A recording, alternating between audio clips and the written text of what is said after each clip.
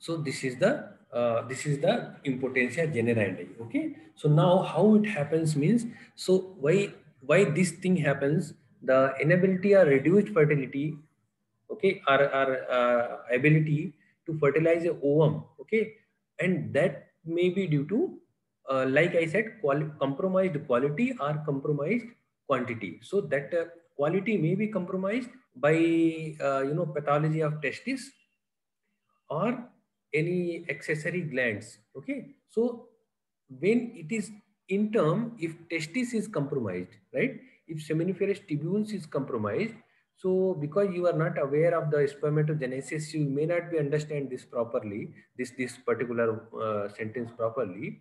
But testis as in large you try to understand testis in the testis seminiferous tubules are responsible for semen uh, spermatozoa production okay so if any pathology is there uh, targeting this uh, testis in general or seminiferous tubules, maybe testicular degeneration, testicular hypoplasia or anything, right? So this will deteriorate the, the, the quality of semen by terms, by in terms of um, a degraded spermatozoa, right? The semen volume will be, uh, the qu quantity will be proper, semen volume because more or less the volume is decided by accessory sex gland, right? So suppose if epididymis, try to understand this. Suppose testis is okay and epididymis is not proper. It's not proper. I mean, it's not functioning proper. I mean, degeneration to uh, epididymis had happened. Okay. Now what will happen? Semen will be produced normally, but as you know that uh, the motility of spermatozoa, okay, and then ability to fertilize uh, uh, um, ovum is, uh, is, is, you know, um, gained or generated in epididymis, that to the mid part of epididymis, right? So, uh, if suppose spermatozoas were, were produced normally, but if motility is not there, ability to fertilize is not there, so it is of no use in spite of fact that you see every parameter, it will give every parameter fantastic, no issue, except uh, you see in microscopic examination, if suppose motility is not there, right? Uh, mass motility is not there, individual motility is not there, then only you will, you will, you know, uh, have a doubt, okay, something wrong had happened. But by look, color, macroscopically, it will be perfectly all right, okay? So that is one. Now we were talking about quality. So that's how the quality is affected by pathology of testis and pathology of epididymis, right? Now, if there is pathology of accessory sex gland, if we talk about bull, so majority of volume is contributed by by uh, you know uh, this uh, seminal vesicle, right? Agree or not? You you might have heard i mean somewhere in, in previous slides it was um, given that um, almost 50% of the semen volume seminal plasma is contributed by seminal vesicle in case of bull buffalo bull or cattle bull anyone. Okay? So this is one. So if suppose seminal vesiculitis had happened now what will happen? Because of seminal vesiculitis the as you know, any inflammation of any part of the body or any tissue system will have five, uh, you know, uh, you know, cardinal signs.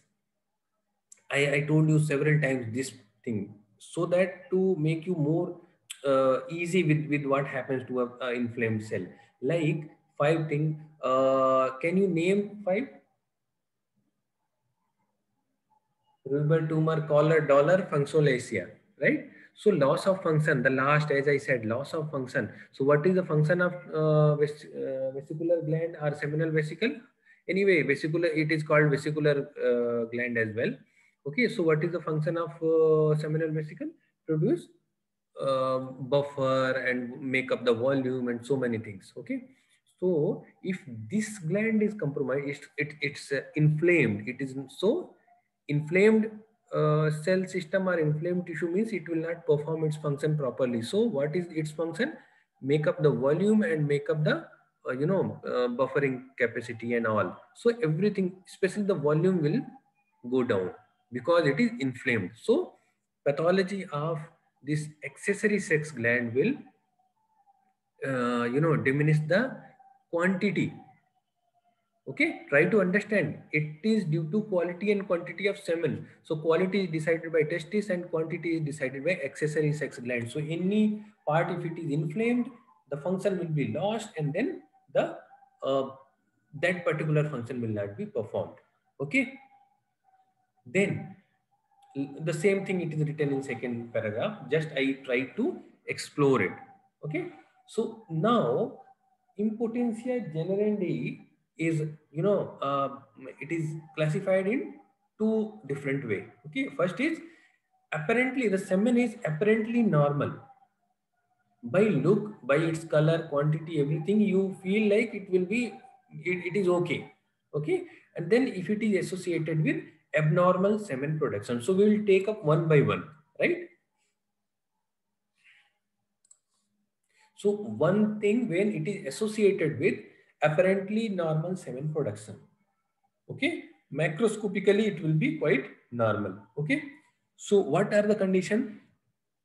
If suppose bull is infected by certain infections like vibriosis, trichomoniasis, IPR, uh, IBR, IPVV, VV लिखते हैं इसको कभी कभी IPV भी लिख देते हैं okay and then mycoplasma so these are uh, very you know protozoa virus and and mycoplasma infections okay so they may not be that much uh, you know uh, you you may not be able to uh, diagnose it by the um, virtue of its uh, you know color and consistency. Of course brucellosis that too if it is seminal vesiculitis you can appreciate the curd like thickness in in uh, you know uh, semen. So that indicates that it is perhaps you know infected with brucellosis.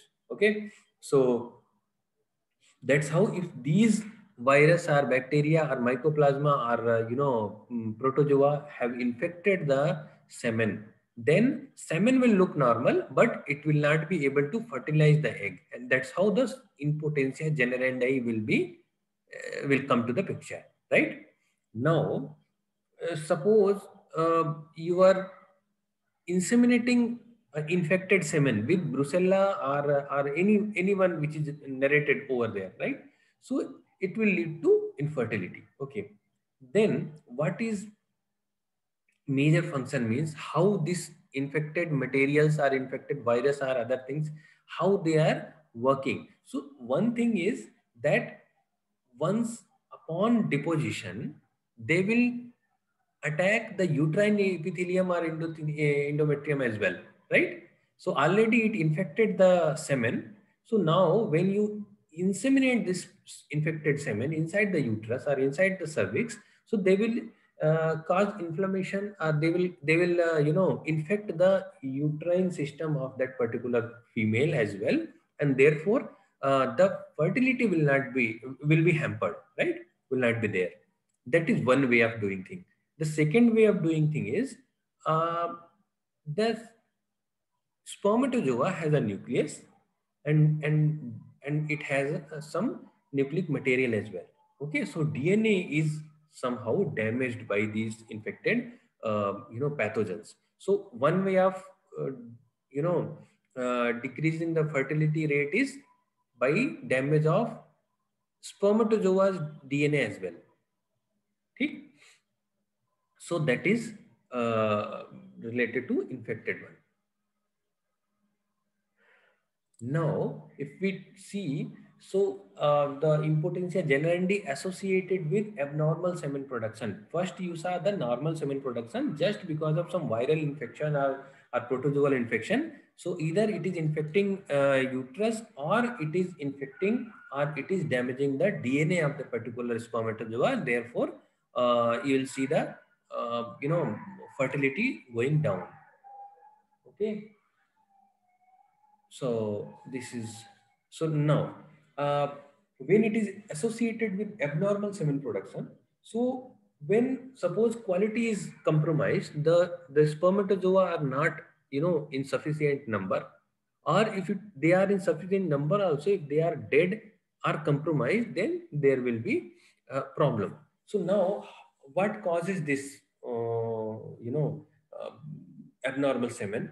So like I said, pathology of testis, qualitative. So now pathology of testis, again it is divided into congenital or heredity by birth or maybe acquired defect. Okay, we'll see one by one.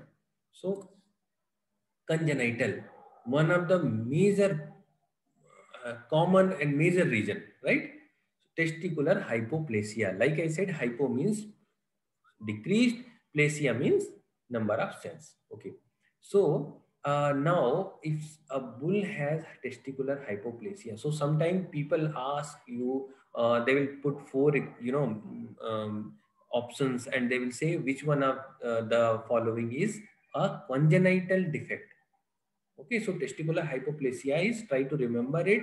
This is your fingertip point that testicular hypoplasia is, uh, you know, a congenital defect. Okay, so what it does, how it affect means there is incomplete development of seminiferous tubules. In seminiferous tubules also germinal epithelium of seminiferous tubules. So seminiferous tubules, they bear in inside their, their uh, membrane, they bear germinal epithelium. Okay. So that particular germinal epithelium is not developed properly because of testicular hypoplasia. That's how it is defined. Okay. So now it is not developed. So germinal cells if germinal epithelium is not de well developed, so number of germinal cell, okay, spermatogonia, what you say, germinal cell or spermatogonia will be very less. And because the germinal epithelium yeah, germinal cells yeah, spermatogonia is not uh, of enough number, so you know something like if you don't have raw material, how will produce the final ones, right? So spermatogonia is not uh, properly generated. Okay, so uh, there will not be sufficient mature spermatozoa at the end, right? So that's how the semen will show oligozoospermia. When you go for, you know, semen uh, analysis microscopically, you will see very few number of spermatozoa. Okay, or in very severe cases, when entire this uh, germinal epithelium is lost, then what you will see azoospermia. There is no uh, spermatogonia, there is no germ cell in that seminiferous tubules. So there will not be any sperm.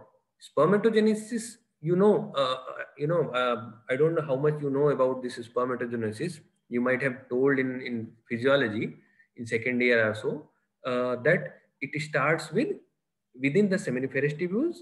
First of all, there is spermatogonia and then uh, primary spermatocyte, secondary spermatocyte. There so many things are there.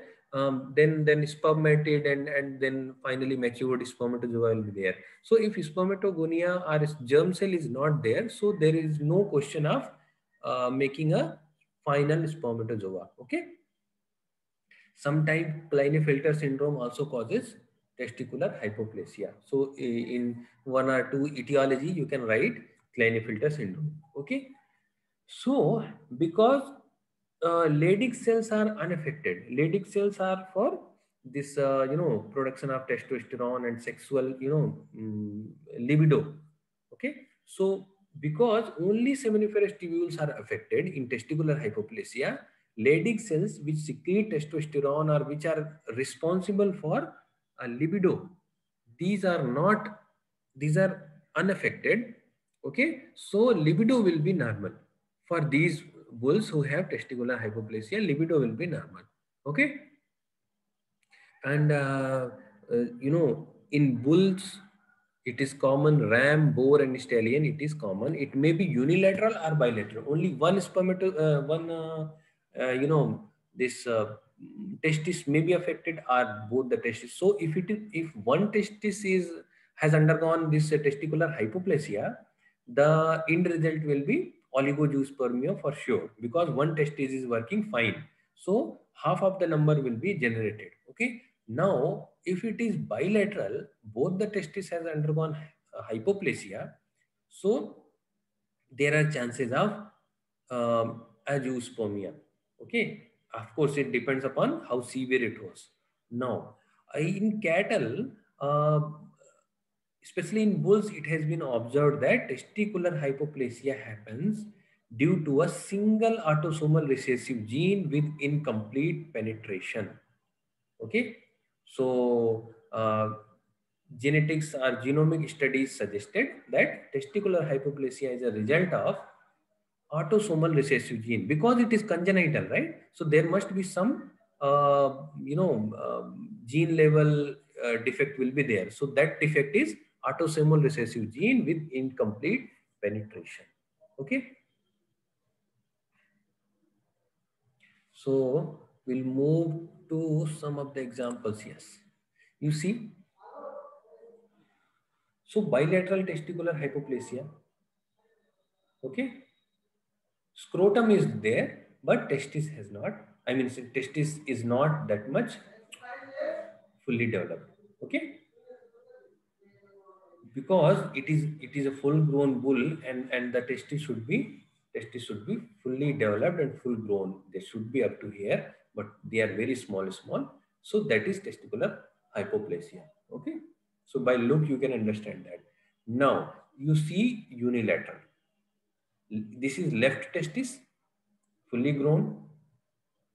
And of course, it is a bit more as well. And this is right testis. Okay, this is hypoplasic. Okay, now you see the presence of small size testis. Okay, so in case of buck, this is a bilateral testicular hypoplasia. This is bilateral. Both are of same. This is bilateral. Both are the same. Here it one is hypoplasia plastic and then second is normal. Okay.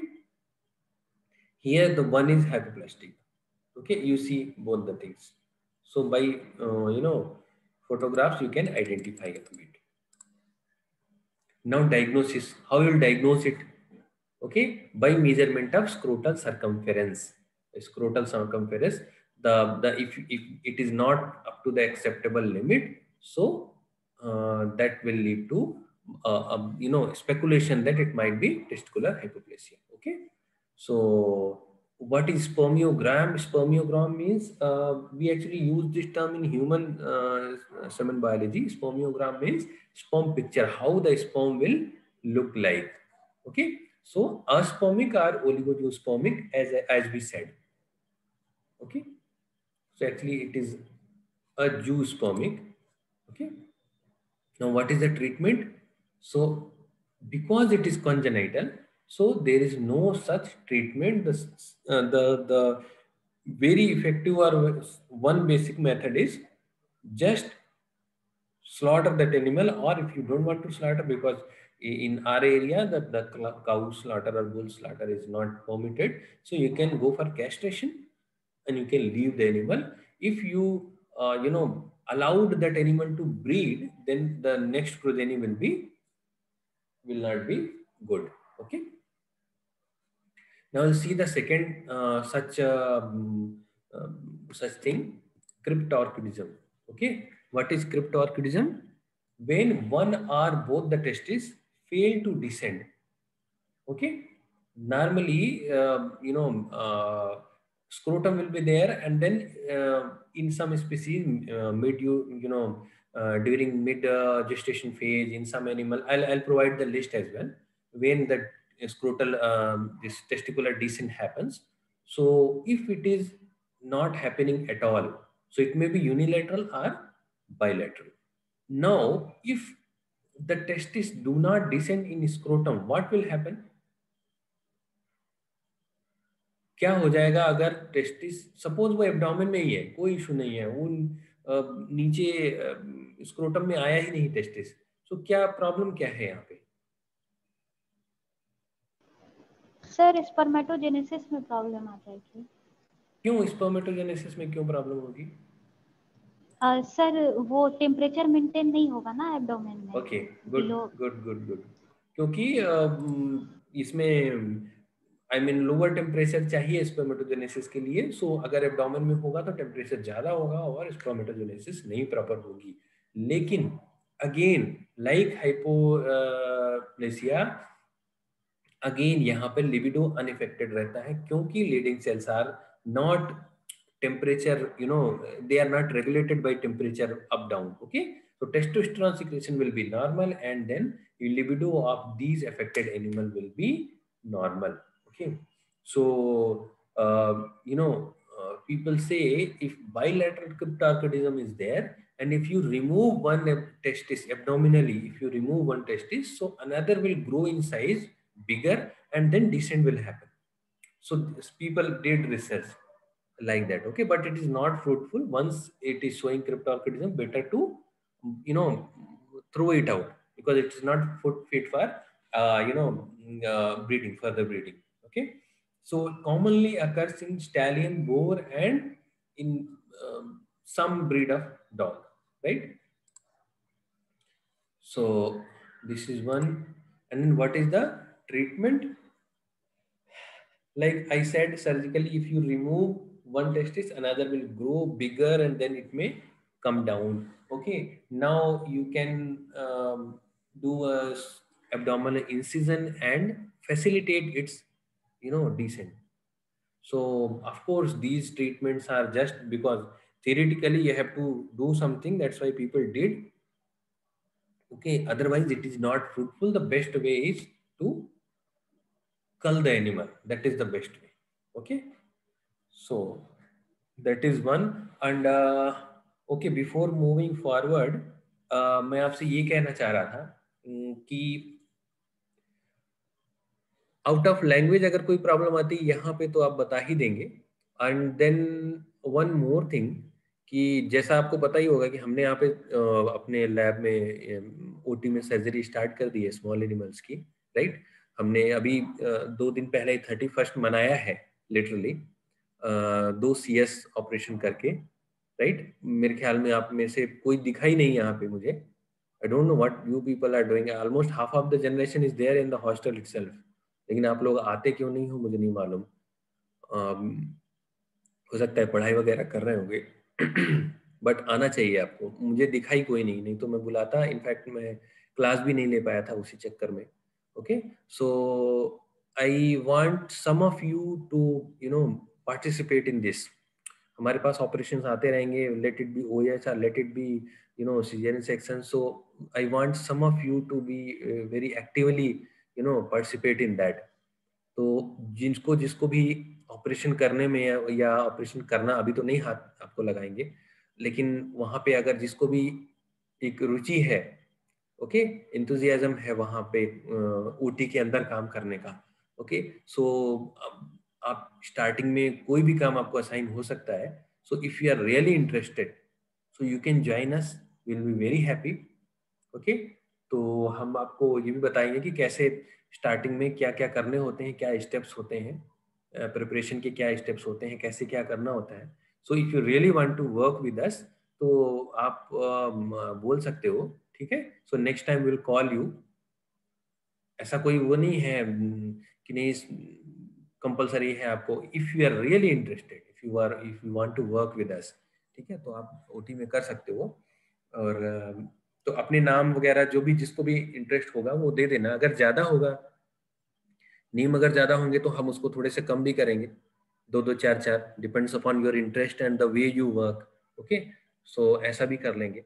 But I want you people some of you to come forward right क्योंकि हर जगह ऐसा नहीं होता कि UG के बच्चों को इन्वॉल्व करते हैं, ठीक है? तो आप इन्वॉल्व हो सकते हैं okay so that is one message and one more thing कि आपको uh, आज सैटरडे है या आई डोंट नो क्या है इसका दिन? Saturday I guess yes sir Saturday so मेरे ख्याल में अब तो आपकी ऑफलाइन क्लासेस चालू हो जाएँगी बट मेरे को ये चैप्टर कंप्लीट करना था। सो so, क्योंकि बड़ा है चैप्टर चलो मंडे बोले तो तीन हो जाएगा। कब होगा मंडे आज तो दो है। कल संडे और ओके, चार से तो ठीक है, कोई नहीं, आज यहाँ तक खत्म कर देते हैं, एक दो तो क्लास में और आपके कुछ क्लासेस कंप्लीट करेंगे, ठीक है, चलो ये ये देख लेते हैं एबनॉर्मलिटी ऑफ़ सेवन ना ना, ये बड़ा है, ठीक है will stop right here okay क्योंकि 12 बजे आपकी क्लास है, शायद तिवारी सर की ओके और अगर वो क्लास नहीं होती है या समथिंग ऐसा कुछ है तो आप तुरंत मेरे को इन्फॉर्म कर दीजिए, ठीक है? ये क्लास खत्म कर हैं।